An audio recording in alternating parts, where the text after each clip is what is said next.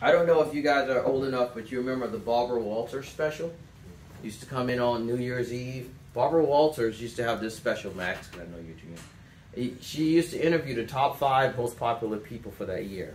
Normally, entertainer, a business person, a political person, somebody of that nature. It normally was what three or four people that she used to interview, and it was on New Year's Eve.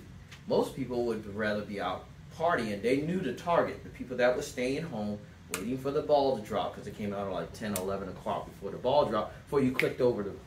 So, the one thing that I emphasize to people, why would people tune in on New Year's Eve to watch this special? Because those five people that she interviewed normally have been interviewed numerous times that year because Life magazine, Rolling Stone, you could have caught their interview anywhere.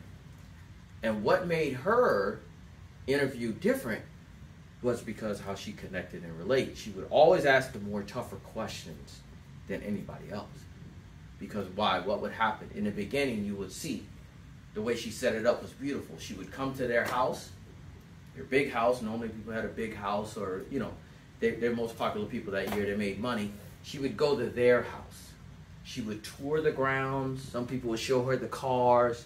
Some people would. She would go through and she was like, hmm, yeah. So she would connect and relate with them. Next thing you know, she, you would see how they would set up the setting somewhere in their house in the living room. She had them do it at their location, not hers. So they already were comfortable there. So now she came in and she became comfortable with you because you knew that she was going to hit you with the hammer. She was going to come with the questions. Most people would sit there and say, "How many times you heard? You're not going to make me cry, Bob.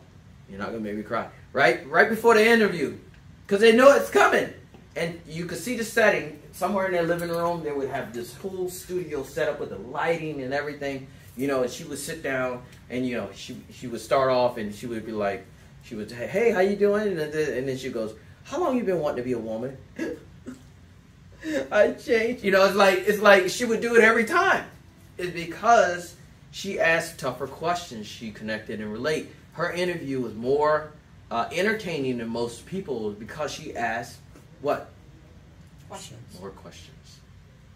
It's no different. She's a person just like everybody else they interview, but she asked more questions and more detailed questions to get the emotional trigger out of them. And that was the entertainment. To watch this entertainer sweat, cry, whatever she had them do by the end of the interview, they were like, I just want to thank you, Barbie. It's a guy sobbing wet because she knew how to do that. And that's one of the things I try to emphasize with people when we sell Get to the point of emotional triggers with them, and you can get them to move wherever you want. Okay? Thanks, guys. Step number five set up the presentation, set up the offer. Ask, if I could, would you? Just start using that statement wherever you go. This is Ben Brown. Click like, subscribe, and share these videos.